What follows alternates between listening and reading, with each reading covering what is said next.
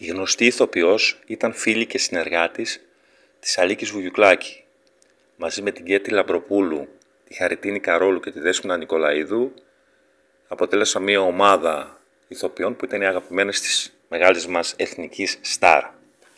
Η Τζέννη Ζαχαροπούλου λοιπόν, η γνωστή ηθοποιός, γεννήθηκε το 1941 στην Αθήνα.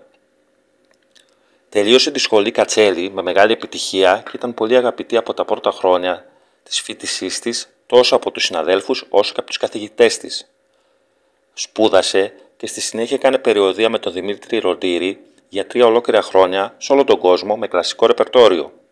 Ήταν και το μεγαλύτερο σχολείο της ζωής της, το τεπούτο της, δίπλα στο μεγάλο θεατράνθρωπο. Αμέσως μετά ξεκινάει συνεργασία με την Αλίκη Βουγιουκλάκη και τον Δημήτρη Παπαμιχαήλ που την κάνει γνωστή στο ευρύ κοινό. Στη συνέχεια συνεργάζεται με όλους τους μεγάλους κομικούς μας. Έχει παίξει σε σειρές που ήταν σταθμοί στην ελληνική τηλεόραση όπως Γιούκερμαν, Ανθέη, η γειτονιά μας, η φρουρή της Αχαΐας και σε πολλές άλλες.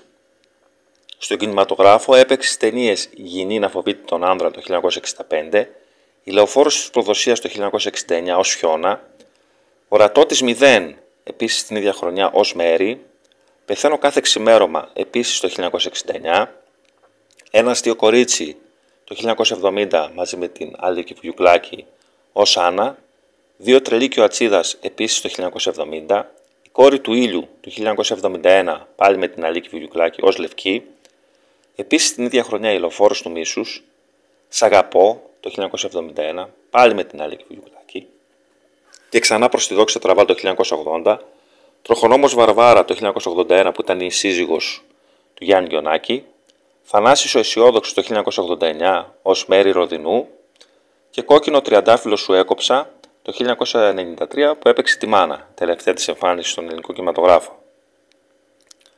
Σε παλιότερη συνέντευξή της, είχε αναφέρει για την αρρώστια και την απώλεια που τη σημάδευσε, ήταν του αδελφού της που δεν πρόλαβε να τον ζήσει.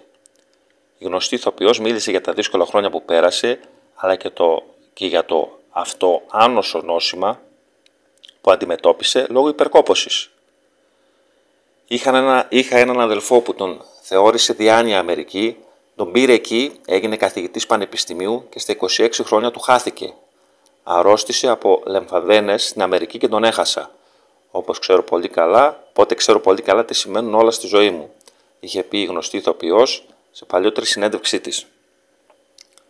Σήμερα η όμορφη ηθοποιός είναι 82 ετών. Τη βλέπετε και σε σπάνια εμφάνισή της. Ο Θεός να την έχει πάντα καλά. Σας ευχαριστώ πολύ για την παρακολούθηση. Αν σας άρεσε το βίντεο, κάντε like και εγγραφή. Καλή συνέχεια σε ό,τι και να κάνετε. Γεια σας.